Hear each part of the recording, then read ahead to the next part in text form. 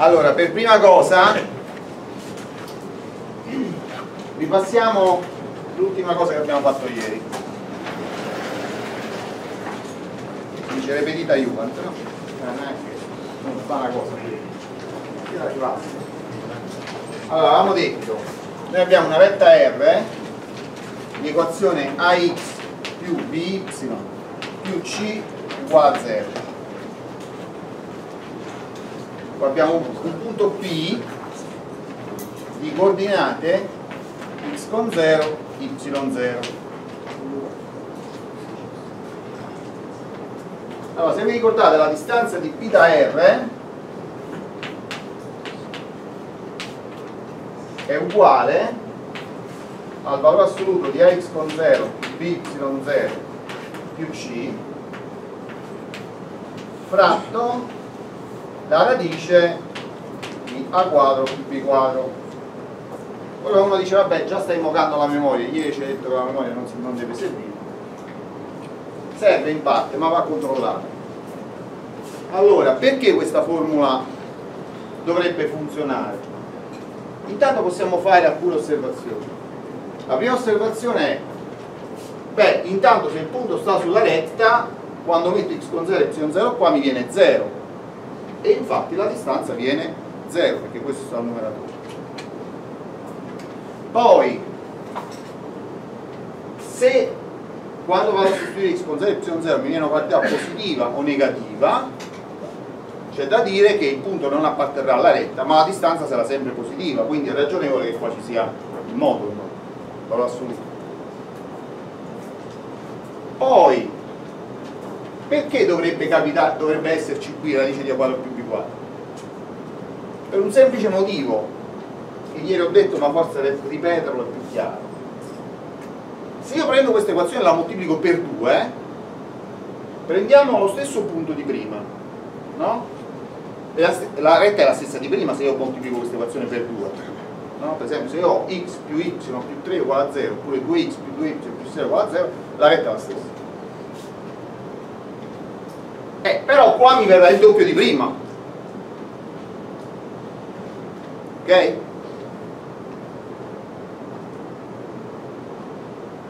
Eh, non sì. Mi verrà il doppio di prima. Perché tutto è moltiplicato per 2 sia questo che questo. Questo e beh allora se tutto è moltiplicato per 2 devo anche dividere per 2 perché la distanza non è cambiata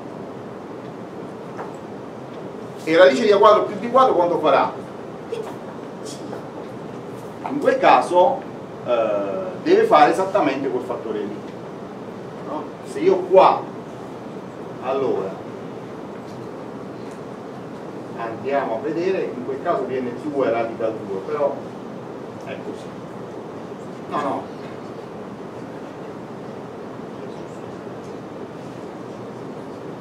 allora andiamo a vedere per esempio se io prendo l'equazione x più 2y meno 1 uguale a 0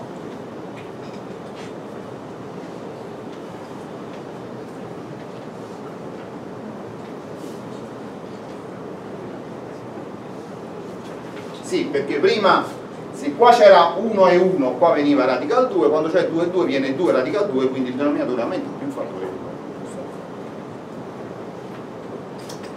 2 ok allora facciamo un esempio prendiamo questa retta R come ultimo controllo. Andiamo a controllare prendiamo P l'origine e andiamo a vedere che questa formula funziona cioè calcoliamo la distanza in maniera indipendente.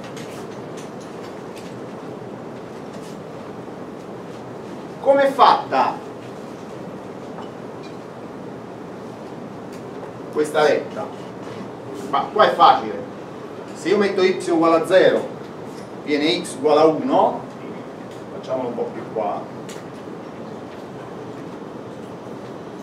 Uh, scusate, se metto y uguale a 0 viene x uguale a 1 ho, de ho detto male ma ho scritto bene. E se metto x uguale a 0 viene y uguale a un mezzo. Quindi questa retta passa per i punti 0 un mezzo e 1 0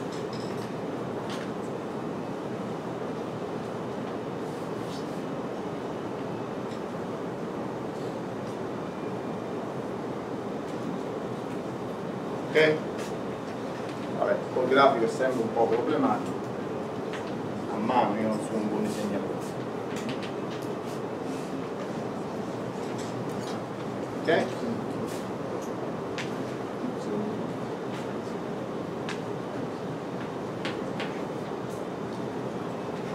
ora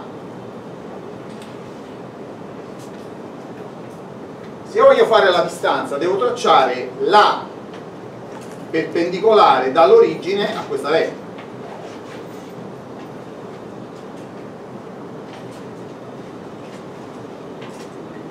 ma come posso fare per tracciare la perpendicolare? Posso prendere questo triangolo e girare di 90 gradi quindi questo diventa 1 questo diventa un mezzo e poi unisco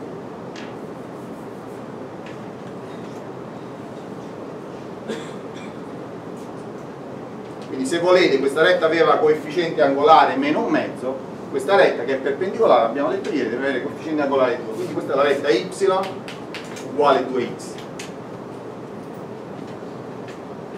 adesso devo andare a fare l'intersezione delle due quindi se y è uguale a 2x viene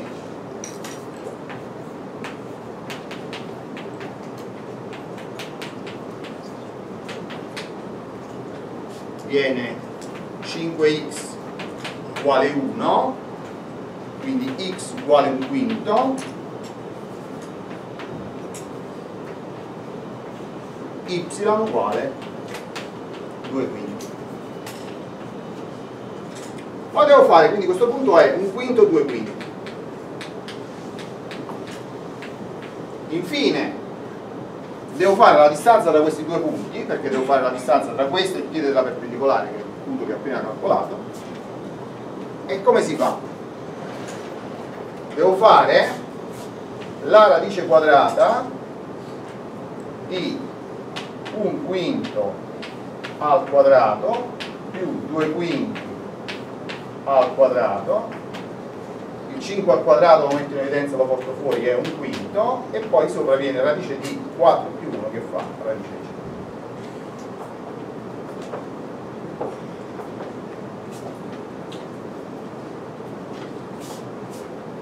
5 eh, facendo tutti i passaggi sarebbe radice di qua viene 25 qua viene 1 più 4 25 lo porto fuori.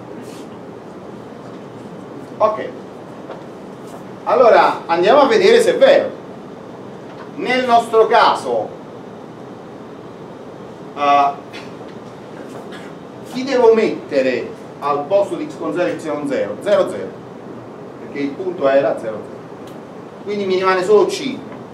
C era meno 1 col valore assoluto fa 1 sotto mi viene radice di a quadro più b quadro scelto, scelti apposta diversi per far vedere che viene radical 5 perché a e b sono 1 e 2 quindi la distanza deve venire 1 su radical 5 ma 1 su radical 5 e radical 5 su 5 è la stessa quindi funziona ok? con questo cosa voglio dire? non è che voglio dimostrare quello che abbiamo dimostrato ieri è che quando tu ti vai a ricordare una formula se l'hai se hai opportunamente ragionato nel cercare di ricavartela più o meno te la ricordi, però potresti non ricordartela bene. Allora tu che fai? Prima vedi se c'ha senso. Questo c'ha senso perché? Perché mi dà sempre un numero positivo. Perché se il punto sta sulla retta mi viene 0, perché se raddoppio le, diciamo, se cambio l'equazione della retta moltiplicando questa equazione per 2 ma la retta rimane la stessa, la distanza non cambia. E quindi questo mi dice già che probabilmente la formula è giusta. Poi me la vado a controllare in un caso particolare magari non banale. Questo qua non è tanto banale. È vero che ho preso C uguale a 0 però ho preso A diverso da B quella cosa che ho preso uh, scusate C non è uh, eh, 0 ho preso P l'origine e ho preso C uguale a 1 per fare i conti più facilmente. Però non è un caso banale. E quindi le cose funzionano. E la formula sembra avere un senso più o meno coincide con quello che, che ci ricordiamo e allora vuol dire. Ok? quindi uh, ovviamente se una formula non la usi per 10 anni alla fine magari te la dimentichi. Però se il ragionamento è stato fatto in maniera eh, come dire cioè facendo parecchi collegamenti con le altre cose che uno conosce e anche se non l'hai usata per molto tempo la ricostruisci in pochissimo tempo. È un po' come andare diciamo come guidare la macchina insomma, quando hai imparato anche se poi non guidi per un anno vabbè ci metti un paio di giorni non è che, non è che appena ricominci a guidare ti dai a, so, a qualche campionato però mm, recuperi breve tempo. Ok adesso veniamo agli argomenti di oggi. Ah, come ieri probabilmente esploreremo un po' andremo verso le 11 11.04 faremo sempre una pausa. Allora, primo argomento. Uh, preferisco prima parlare brevemente non mi dilungherò troppo perché questo, questa cosa verrà rifatta durante i corsi in maniera più dettagliata. Però voglio seminare alcuni eh, diciamo piantare alcuni paletti precisi per dare il concetto di funzione. Allora abbiamo due insiemi.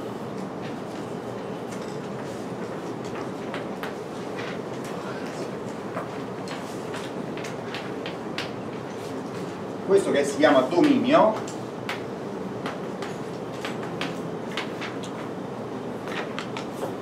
e questo che si chiama codominio.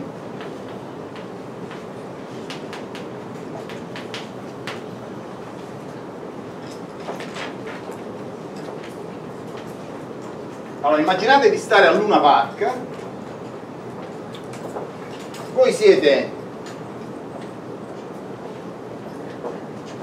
diciamo, gli avventori di un gioco che, nel quale si spara dei bersagli che stanno sulle mensole e però c'è un, un colpo solo.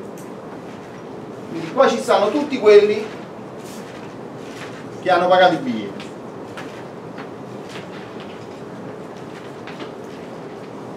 ognuno di essi spara un solo colpo. Qui invece ci stanno li faccio con li disegno con dei cerchietti lunghi diciamo qua ne ho fatti 8 qua ne ho fatti 9 va bene? questi sono i bersagli i possibili bersagli quelli che stanno sulla mensola tu puoi cercare di costruire allora la regola è che ognuno, ognuno ha pagato il biglietto, ognuno può sparare. Quanti colpi? Uno. Allora, il ovviamente quando voi sparate a Luna Park potete anche non colpire nulla però questo qua è un Luna Park speciale fatto in modo tale che voi quando sparate quello rimbalza alla fine un, un bersaglio lo colpisce solo uno ok? quindi allora arriva il primo il bersaglio poi si rialza no? arriva il primo spara e colpisce. Il primo arriva il secondo spara colpisce. Il secondo arriva il terzo spara arriva il quarto e colpisce. Qua arriva il quinto e colpisce qui un'altra volta arriva il sesto colpisce qua. Arriva il setto colpisce qua? Arriva l'ottavo. E colpisce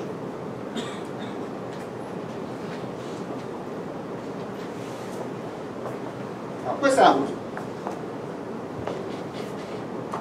Formalmente, lo scrivo perché è importante, una funzione è una legge che ad ogni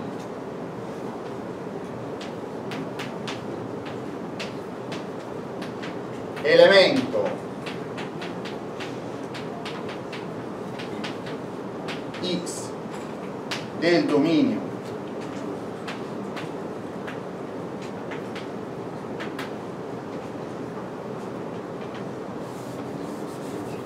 dobbiamo scrivere stampadella maiuscola del dominio x grande associa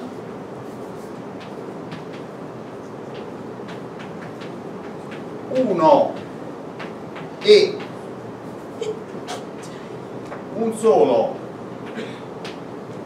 elemento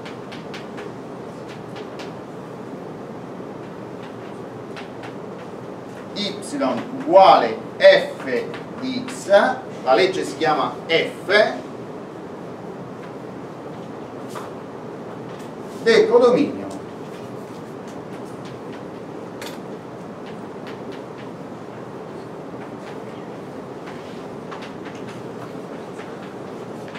y grande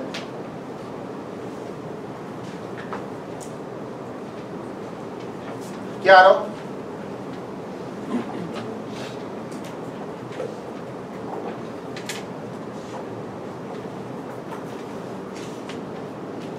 ho lasciato uno spazio perché adesso là devo aggiungere qualcosa. Allora quando si scrive in stampatello maiuscolo anche sulle chat vuol dire che uno sta strillando infatti questa qua è importante.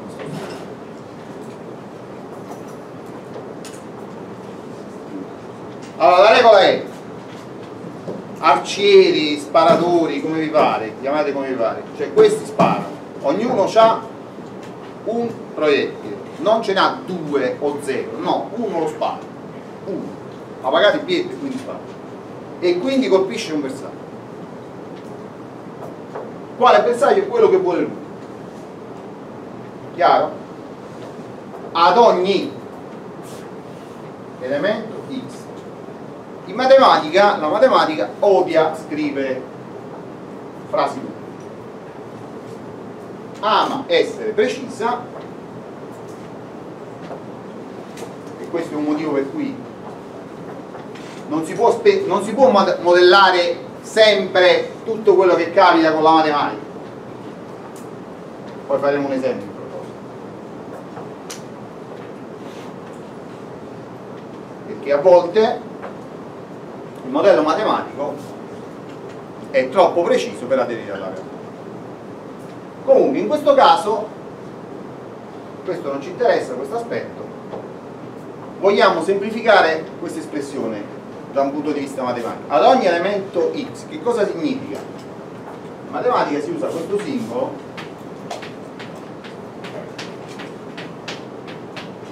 che si chiama quantificatore universale e si legge per ogni. Quindi, per ogni x piccolo del dominio x grande, per ogni x piccolo appartenente x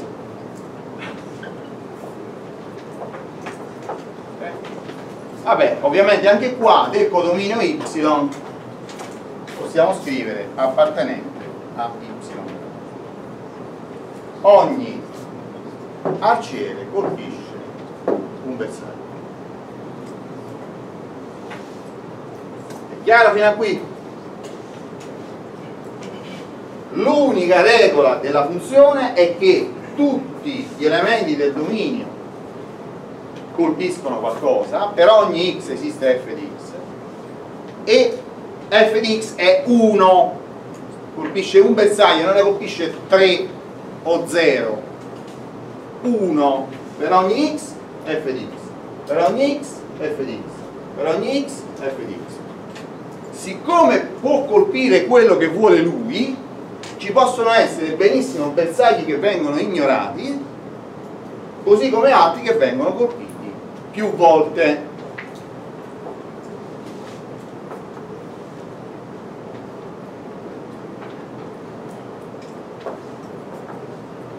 Ok. Bene. Allora.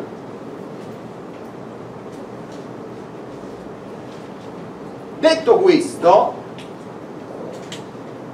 vediamo nel caso specifico potremmo scrivere qua è capitato che questa funzione non colpisca tutti i bersagli poi è capitato che in questa funzione ci sia un bersaglio colpito da due elementi del dominio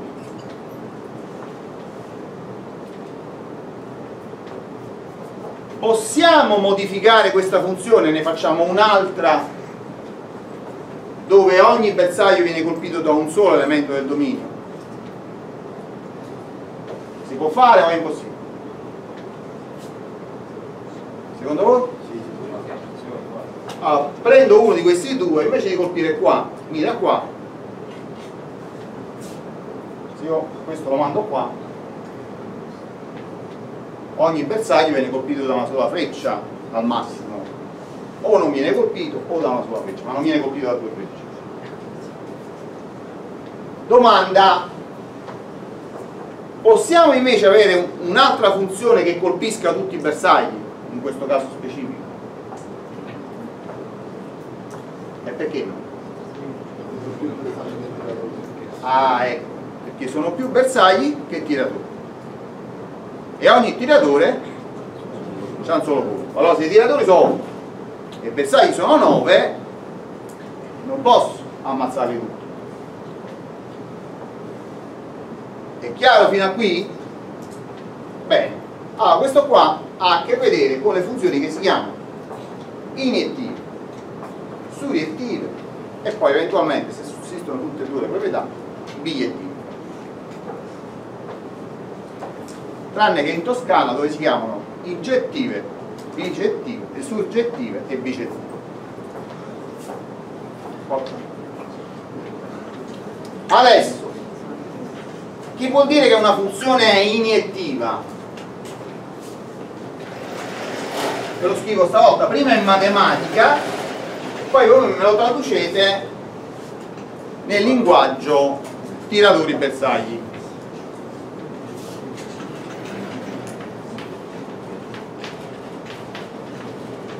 Una funzione f. Si dice vabbè, domini e codomini sono quelli di prima, non li sto a riscrivere.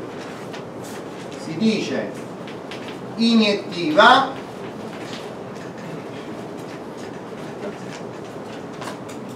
se e solo se per definizione x1 diverso da x2 x1 e x2 sono elementi del dominio.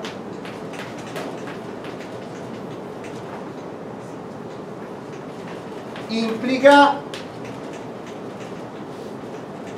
f di x1 diverso da f di x2 allora, qui mi sono dato alla scrittura matematica selvaggia. Scusate un po' di simboli in realtà nulla di complicato. Però allora io sto dando una definizione. Una definizione è la spiegazione precisa di un termine. Quindi io chiamerò una funzione iniettiva. Se avete una definizione trovate l'espressione si dice che funzione si dice iniettiva, si chiamerà iniettiva quando, se solo se, è meglio specificare se solo se, perché vabbè, eh, io dico che un rigorista è scarso quando sbaglia 5 rigori su 10 ora magari dico che è scarso pure se ne sbaglia 7 su 10 eh, scusate pure se ne sbaglia solo 3 su 10 quindi bisogna stare un attimo attenti perché se io dico che un rigorista che sbaglia 5 rigori è scarso su 10 poi non so dire se uno che ne sbaglia 3 è scarso o no. Allora se io dico se solo se ne sbaglia almeno 5 su 10 quello non ne sbaglia 5 su 10 quindi non è scarso è una definizione, io posso scegliere la definizione, posso scegliere come mi pare, poi bisogna essere d'accordo. Sul termine scarso, no, cioè per me scarso è uno che già se ne sbaglia te già è scarso, no, per me c'è un altro discorso. Quindi è meglio specificare, cosa che sui libri non sempre viene fatta, se e solo se. E poi ci scrivo anche def sopra, per ricordare che sto, questo non è non, diciamo, questo se solo se non viene da un ragionamento, cioè non è che una certa condizione è stata tramite un ragionamento tradotta in un'altra condizione equivalente. No, questo lo sto dicendo per definizione. Io la chiamo iniettiva quando capita questo, e solo quando capita questo. Chiaro? Allora, qua che cosa c'è scritto? Vediamo un po' se siete in grado di tradurlo voi nel linguaggio da tiratori bersagli. I bersagli non si alzano più perché No. ogni tiratore colpisce che due elementi distinti del, del dominio colpiscono, un- colpiscono secondo la legge Eh? imposta due elementi devono, devono essere distinti Allora, che se i tiratori sono diversi, i bersagli devono i essere bersagli colpiti devono essere diversi. Non è quello che hai detto. Cioè, il secondo va bene, il primo no. Oh, lo spiego, non ho tempo di spiegarti, poi te lo spiego.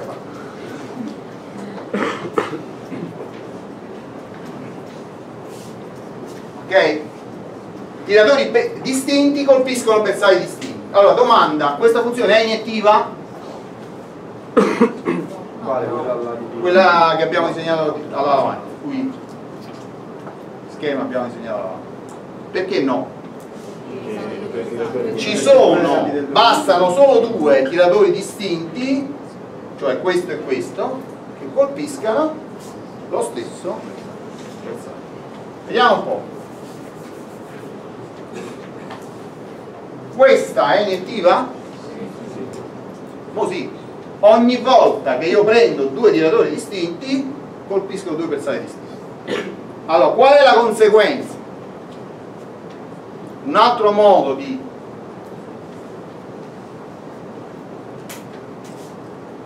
Adesso andate a vedere i bersagli, sui bersagli quante frecce cadono? Una oppure zero. anche zero. Zero va bene. Non- Allora, se questo bersaglio non viene colpito da nessuna freccia, questa definizione non mi fa né caldo né freddo.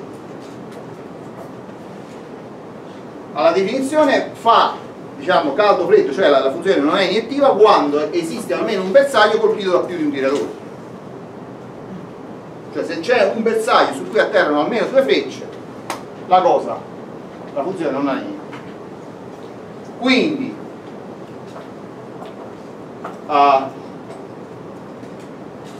dire che è una funzione iniettiva vuol dire per tiratori distinti colpiscono bersagli distinti oppure anche, possiamo anche dirlo ogni bersaglio viene colpito al massimo da una freccia o 0 o 1 ma da 2 in su no. È chiaro? vediamo l'altra definizione. Una funzione f si dice suriettiva se solo se per definizione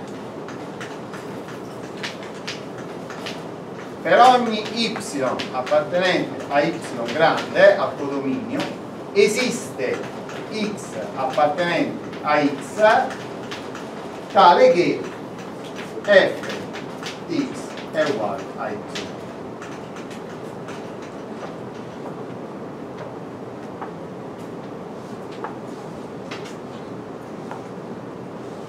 allora qui abbiamo incontrato una nuova lettera.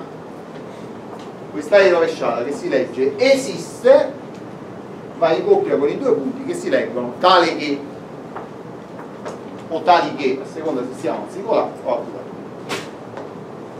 questo si chiama quantificatore universale. Cioè mi dice per ogni vuol dire per, per tutti gli elementi dell'insieme y grande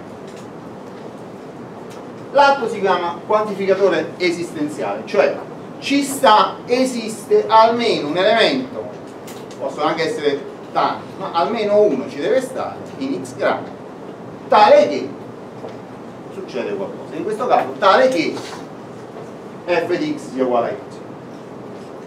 Proviamo a tradurlo nel linguaggio di Radori Bersagli. Cosa dice questo? no Il bersaglio che ho capito più una volta. Che ogni bersaglio, stavolta giusto, viene colpito almeno una volta. Non mi dice che chi lo colpisce sia uno solo. Per esempio, allora, allora, vediamo un po', prima, prima di cancellare troppo, prima per modificare la funzione e renderla iniettiva ho dovuto fare una modifica pesante cioè ho dovuto proprio modificare la funzione una delle frecce l'ho dovuta spostare chiaro? anche qua questa funzione è suriettiva? perché non è suriettiva? perché esiste un bersaglio che non è colpito c'è un bersaglio che non è stato colpito la funzione è suriettiva quando tutti i bersagli sono colpiti come potrei fare per renderla suriettiva? Beh, o aggiungo un tiratore che ci spara sopra ma più facilmente tolgo un bersaglio allora perché dico più facilmente? perché qua tutte le frecce tutti i grovigli delle frecce che vanno di qua e di là io non l'ho toccato ho toccato soltanto il codo codominio ho tolto un bersaglio e quindi ho tolto i bersagli basta togliere tutti i bersagli che non, che non vengono colpiti la funzione automaticamente diventa suriettiva quindi se una funzione non è suriettiva per renderla suriettiva è, è facile, come, come si fa? Basta stringere il codominio. Ci tolgo quello che non viene colpito. Ah, quelli che vengono colpiti sono solo questi qua. Gli altri li togliamo. Ovviamente non è la funzione di prima, però è parente stretta, cioè le, le frecce sono le stesse. Cambiato solo il codo, codominio. Se invece la funzione non è iniettiva, è torniamo alla situazione precedente. Allora questa funzione qua è suriettiva ci ho tolto due bersagli e, però non è iniettiva perché questa freccia l'ho rimandata qua quindi c'è un bersaglio colpito da 2 se la voglio rendere iniettiva uno dice eh, vabbè ma pure qua è facile basta togliere un tiratore. Perché questa qua io non la posso rendere iniettiva spostando una freccia perché dove la sposto sposto tutti i bersagli sono colpiti. Quindi siccome adesso i tiratori sono 8 e i bersagli sono 7 la funzione non può essere iniettiva come prima se i tiratori erano meno dei bersagli eh, la funzione non poteva essere suriettiva perché non aveva abbastanza tiratori per colpire tutti i bersagli. Se i tiratori sono più dei bersagli siccome ogni tiratore colpisce un bersaglio quando li ho colpiti tutti questo si chiama in matematica principio della piccionaia cioè se ho più piccioni che buchi dove metterli diciamo eh, non buchi eh, le casette dove metterli e a un certo punto devo mettere due piccioni in una casetta. Quindi qua se i bersagli sono meno dei tiratori io se voglio la funzione iniettiva devo per forza togliere un tiratore Ma perché questa situazione è differente, è più grave della precedente? Quale, quale tiratore devo togliere? Uno di questi due. Eh, però c'è un problema. Quale? Hanno pagato. Eh? Hanno pagato. Eh, eh, diciamo così, hanno pagato. quindi- comunque, a parte il fatto, hanno pagato poi, questa poi c'è tutta una storia su questo. Ah, allora, il problema è quale tolgo. Perché già era chiaro quali erano i che dovevo togliere. Qua posso togliere questo tiratore o posso togliere questo tiratore. Quindi eh, ne posso originare due di funzioni iniettive, quantomeno in maniera più semplice possibile. Se la situazione si ripetesse, per esempio avessi otto tiratori che a coppie colpiscono quattro bersagli, due colpiscono il primo bersaglio, eh, le scelte quante sono stavolta? 2 alla 4. Quindi per ogni coppia ne devo togliere uno. Eh, prima sono due, poi sono due, poi sono due, poi sono due, poi si moltiplica. Quindi capite bene che questa situazione è ben diversa dalla precedente. Cioè rendere una funzione iniettiva significa fare una modifica più pesante sulla funzione. E questo lo rivedremo anche più avanti. Ovviamente per rendere la rientiva, rendere suiettiva, se non lo sono, non è che la stessa funzione di prima, la funzione in ogni caso deve cambiare.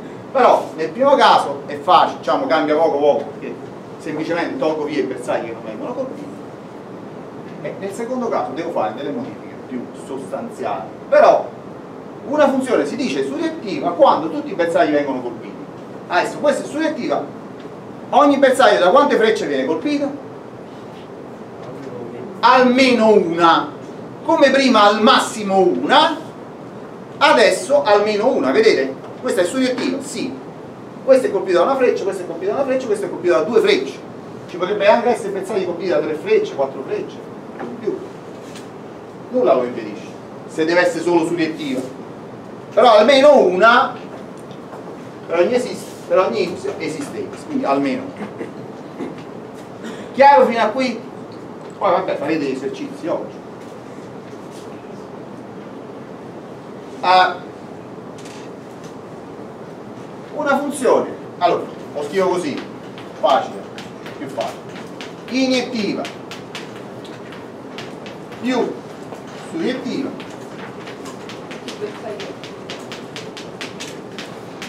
uguale. Bionivoca o bigliettiva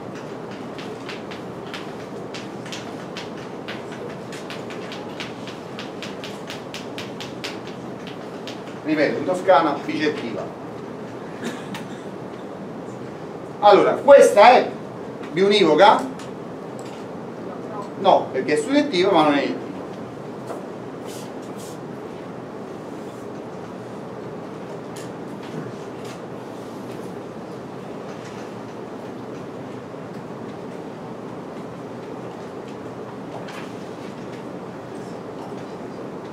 Questa è biunivoca? Stavolta sì. Allora, se il dominio e codominio hanno un numero finito di punti,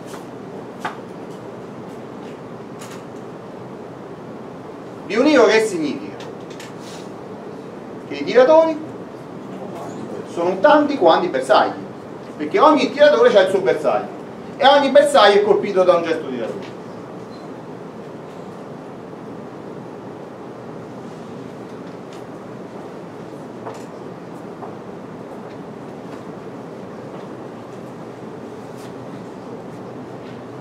Chiaro, bionivoca vuol dire esattamente iniettiva più soggettiva, cioè la definizione corretta sarebbe una funzione si dice bionivoca quando è sia iniettiva che soggettiva.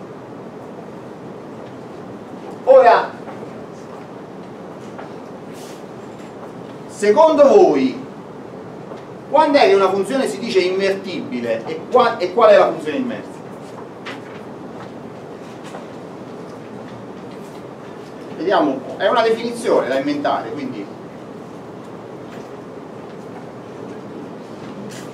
Però, se vogliamo anche un, rispettare il senso delle parole, cioè se io dovessi fare la funzione immersa di questa, che dovrei fare?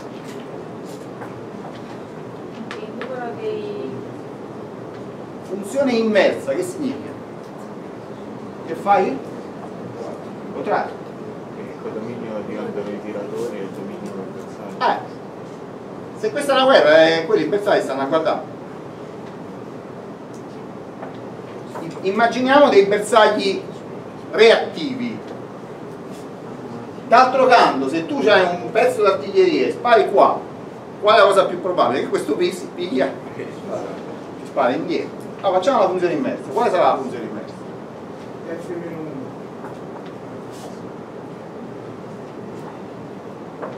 No, sì, nel senso che poi viene chiamata con F-1. Ma cosa fa? Quando dico quale sarà, significa cosa deve fare? Quando un elemento di X colpisce un elemento di Y, un elemento di Y risponde e colpisce un elemento di Y. Allora, è l'unica funzione che si ottiene leggendo queste frecce tutto al contrario.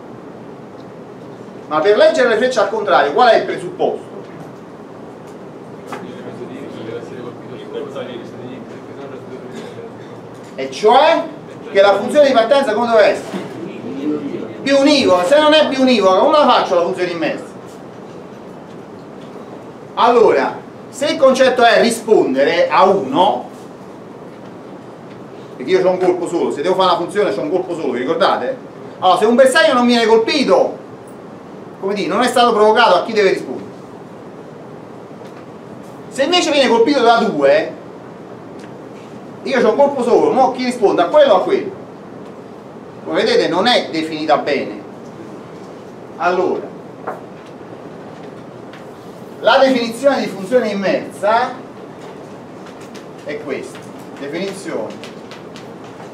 Data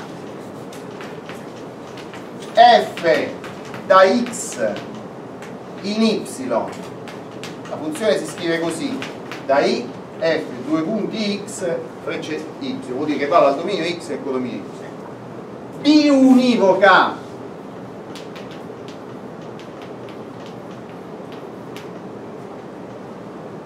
Si dice f a meno 1 da y a valori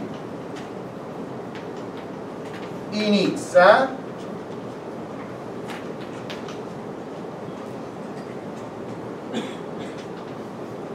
la l'unica la è l'unica funzione che però diciamo eh, tale che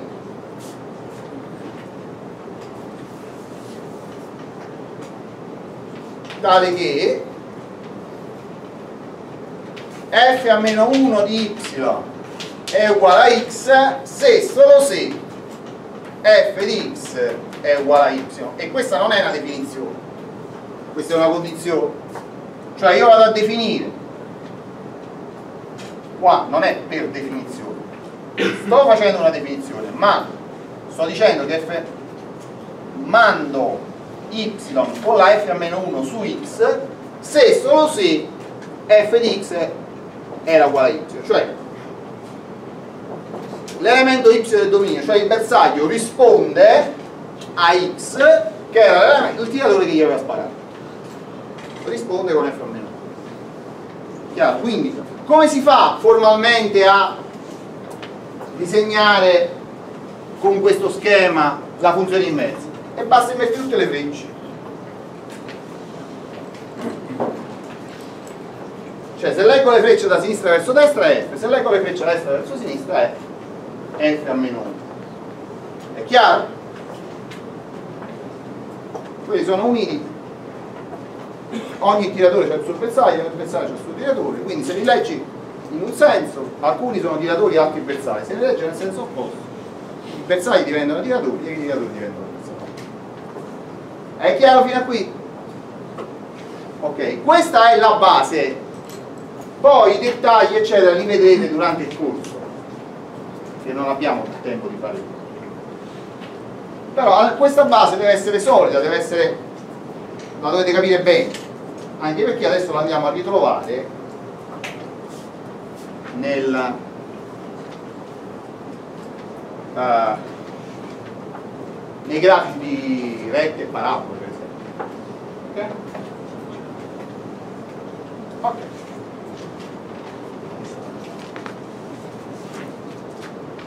bene oh, quando dicevo prima che non sempre la matematica si adatta bene alla realtà, cioè adatta, è uno strumento utilissimo per capire la realtà, però bisogna stare attenti a come si modella. Facciamo, facciamo un esempio. Uh, spesso tra i matematici o anche gli ingegneri, eccetera, c'è una deformazione professionale per cui questi vabbè, si sposano, hanno la famiglia, vanno, vanno in giro, stanno facendo una, una una stanno facendo una giornata fuori con la famiglia. Dopodiché arrivano alle 5, alle 6 insomma quando hanno finito il giro vabbè facciamo f a meno 1 che significa volendo significare ovviamente torniamo a casa Secondo voi è adeguata come, come cosa? No. Perché tu quando fai FM1 mica devi fare al contrario tutti i giri che hai fatto. No, per esempio tu sei andato a visitare questo, questo, quell'altro, quell'altro, cioè poi alla fine prendi te ne torni a casa per la via più breve, non è che rifai tutto al contrario effettivamente. No? Quindi già questo è un esempio di piccolo abuso, però vabbè, quello lo sa benissimo, però dice FM1 così rende chiaro il concetto, siccome ne avrà parlato, allora gli eventi della famiglia gli ha fatto una testa così con fa meno 1, quelli già sanno che fa meno 1 significa. Ce ne andiamo a casa. Però volevo fare un altro esempio, l'anticipo qua così anche questi 5 minuti uh, sono più leggeri. Uh, prendiamo il bilancio di un'azienda. No? Vabbè, i maschietti qua sono la maggioranza, anche se non una maggioranza proprio esagerata. Però eh, prendiamo per esempio la società di calcio. Allora, il bilancio da cosa è dato? Eh, incassi meno spese, eccetera. Ma alla fine c'hai una differenza, no? D'aria viva. Uh, possiamo parlare, sono due cose diverse, il bilancio dell'anno, lo stato patrimoniale, però io per semplificare parlo di, diciamo, di tutti i due debiti e di tutti i due crediti, quindi parlo meglio dello stato patrimoniale. Ok. Allora, abbiamo tre aziende, anzi due aziende. Un'azienda ha il bilancio in pari, non ha debiti, non ha crediti. Ah, è appena partita, non c'è nulla.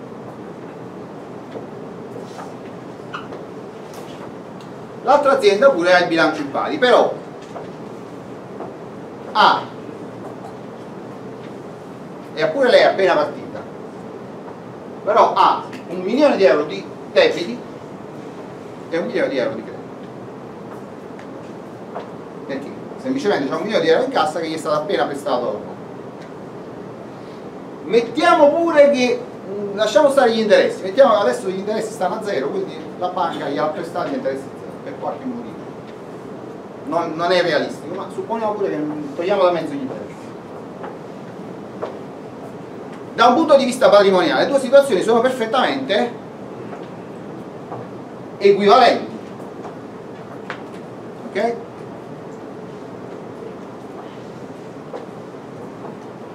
Ma nella realtà sono equivalenti. Qual è la differenza?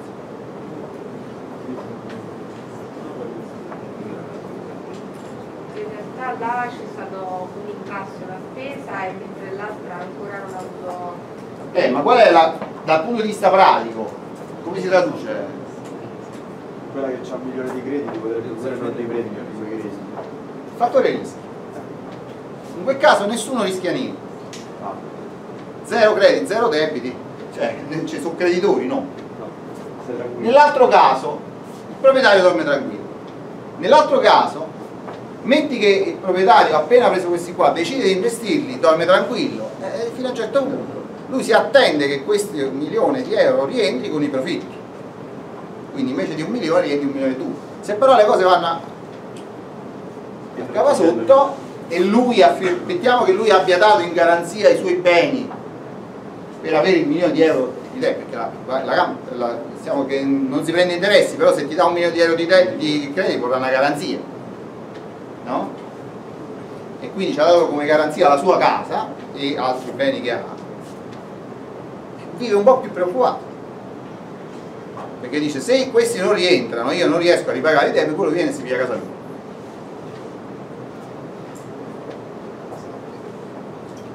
Chiaro? Viceversa, supponiamo che al contrario quello sia dato delle garanzie ma le garanzie erano fittizie, la casa non ci sta, pagato il milione di euro, se ne va in qualche isola tropicale dove non c'è l'estradizione. Non sto suggerendo che questo sia un comportamento anche perché poi quello finisce, non è che dura per- cioè non ci cambia. Poi rimani sull'isola. Però capite bene che non, che non è la stessa cosa. Ma dal punto di vista matematico, 0 meno 0, un milione meno un milione fa sempre 0. Allora, è adatto la semplice differenza a modellare quella situazione? No, ci dobbiamo aggiungere qualcosa che contempli il rischio se no i modelli economici non esisterebbero. È chiaro? Poi il rischio e poi anche il motivo per cui mo- molto spesso la banca va cercando l'interesse. Se no non si spiega che quelli che gli danno e poi vogliono invece di un milione vogliono un milione e qualcosa in più. Chiaro? Ok. Quindi bisogna stare attenti, bisogna imparare gli strumenti matematici però poi bisogna stare attenti, cioè chi è che fa i modelli per l'applicazione degli strumenti matematici alla realtà? E beh, li fa il fisico, li fa il biologo, li fa chi ha studiato un certo fenomeno e ne ha individuato per esempio le equazioni.